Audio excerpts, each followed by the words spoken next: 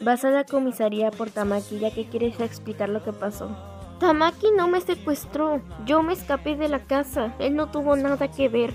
Él me encontró y me llevó a su casa. Si tienen que culpar a alguien, culpenme a mí. Yo fui la que quiso escaparse.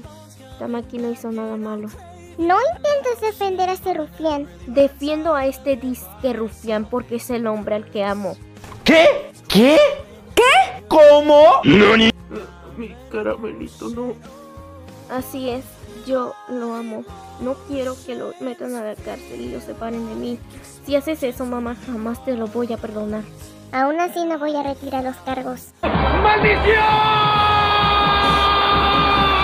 Bueno, en realidad la chica confesó que se escapó, así que Tamaki Amayiki queda libre de los cargos. ¡Qué alegría escuchar eso!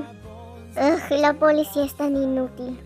Y tú ni creas que vas a verte con ese chico otra vez. Voy a sacarte de la escuela.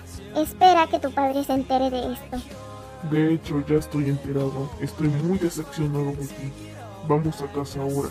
No, no iré a casa con ustedes. Si no lo haces, dejarás de ser nuestra hija. Te vamos a desheredar. Entonces que así sea. No quiero tener unos padres narcistas como ustedes. Amor, no creo que... Tú cállate, pulpo. Escúchame bien. Si no vienes con nosotros, te vamos a obligar a venir con nosotros. Ándale pues, pues pégame.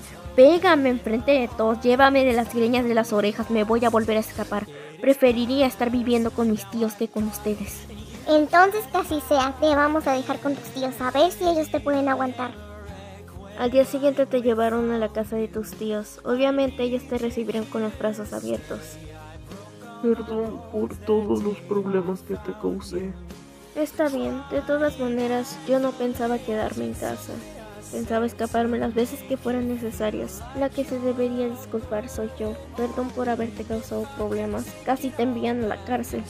Te acercas a Tamaki y la abrazas. Te prometo que nunca te voy a dejar y siempre voy a estar a tu lado. No importa qué. Cuando tus padres te dijeron que te iban a cambiar de escuela, tuve mucho miedo ya que sabía que no te volvería a ver. Pero recorrería todo el mundo y volaría hasta la luna por ti, por tal de encontrarte. Quiero que me pegue, me embarace y me abandone, ¿no? Yo también haría lo mismo por ti. ¿Qué te parece si mañana tenemos una cita? Me parece bien. ¿Ya dónde iremos? A la casa de mis padres.